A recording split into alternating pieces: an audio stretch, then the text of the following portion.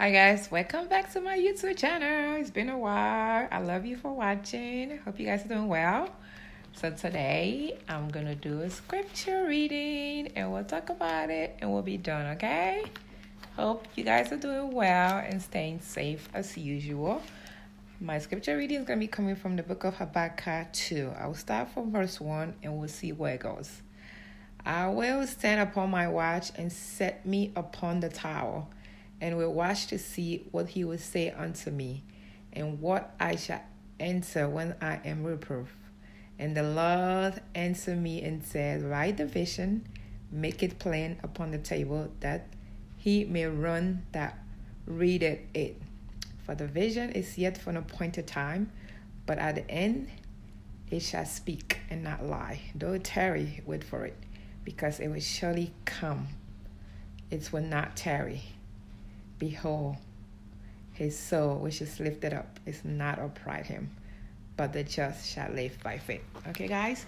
So the word of God is clearly telling us that He has given us visions, He has given us dreams, and though the visions and dreams that He has given us, though tarry, they shall surely come to pass.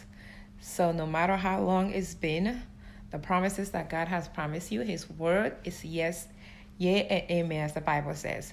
He's not a man that he should lie, not a son of man that he should repent.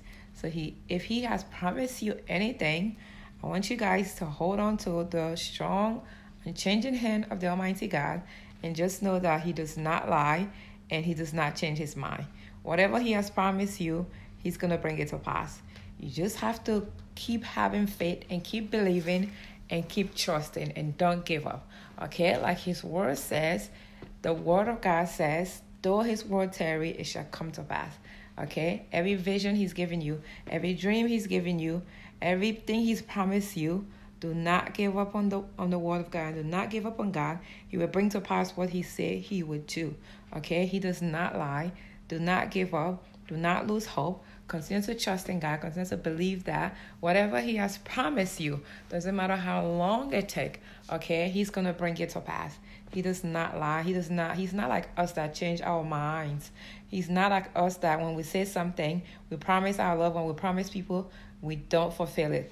God will always fulfill what He promised you because He's not a man that he shall lie. So I want you to keep reading the scripture Habakkuk and keep believing it, keep trusting in, in, in this word that whatever God has promised you your family, He's gonna do it for you because He love you, because He care for you. Okay, guys, have a great day. Bye. Secret Ina. Don't forget to subscribe.